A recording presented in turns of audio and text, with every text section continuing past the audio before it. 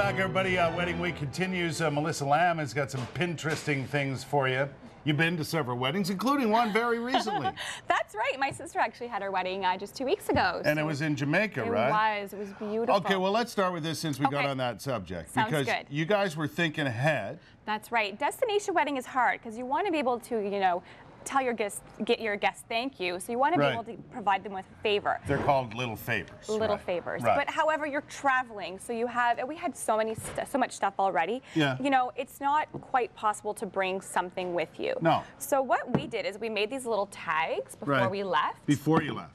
And that's all we had to bring. So CNR So, are the uh, who? CNR, Chrissy and Rich, and it Right. has their name underneath. We had um, their date of their wedding, destination to Jamaica. Jamaican. this is the little barcode of their actual date of the wedding. So Oh, is they're it? pretty cute. Yeah. Nice. This is all we had to bring. And then when we were there, jerk sauce is huge in Jamaica. It's kind of like their their They're thing. hot sauce, yeah. Exactly. So we went to one of the little stores, picked up a bunch of little jerk sauces, and then just made these Just while we wrapped were them there. at the top That's and put right. the tag on them. Exactly. And it maybe took us 10 minutes to do all of them. Isn't that awesome? It was super easy That's good and thinking. super cute.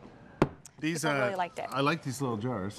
These Is little jars, these are this is tea, and this is just from the dollar store. So you get two for a dollar twenty-five. So Do you really? If you're looking for a budget and you don't have a lot to spend, because favors can add up. A couple dollars here, a couple dollars there, depending how many guests you have. Yeah. So yeah, I just found these little ones at the dollar store. I went to the bulk barn and found some loose tea. Yeah. And then you know you just pour in the tea. Yeah. And you can get different flavors depending, or different themes depending on what you know Yeah. You want. And I mean, most people have loose tea now. They have the little um, little tea bag to put it in, or you could just, you know, throw it loosely in the water. It's Gotcha. fine as well. Yeah. You close it up, I like the little jar too. the little jars, and you can put so many different things in here. You don't have to put tea.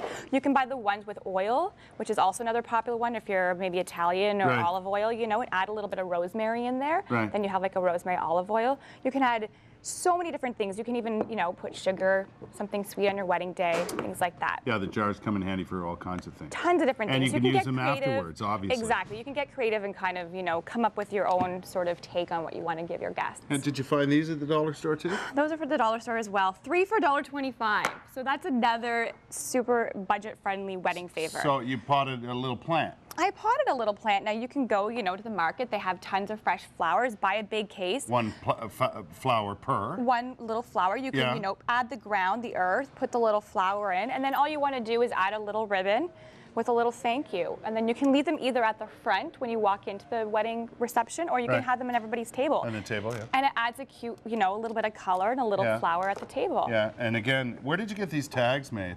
Um, actually, we had them made up. There was uh, my sister's, I guess my brother-in-law now. Yeah, yeah. His friend does the tags. He does that so- s- kind of work. Yeah. So you could even do that uh, for whatever your little. Exactly. And I mean, there's so many companies that make these little things right now. You can make them on your computer really easily as That's well. That's another idea. You could do exactly. it yourself. You right? can do it yourself. Yeah, and make We just knew someone who did them and Yeah. did a great job. The, so the reason being, I mean, if you're if you're putting together a wedding and and you know your sister just did it, it's super expensive. Oh, so it's crazy. Uh, the more money you can save, the better off you are. Exactly. And it, you know what, to me, Melissa, it adds a little personal touch to it. It thing. does, exactly. Right. And another great option, I've actually done this before as a wedding favor, is cookies. Very popular, you know, make up Do you a have couple any with cookies. you now? Unfortunately, I don't.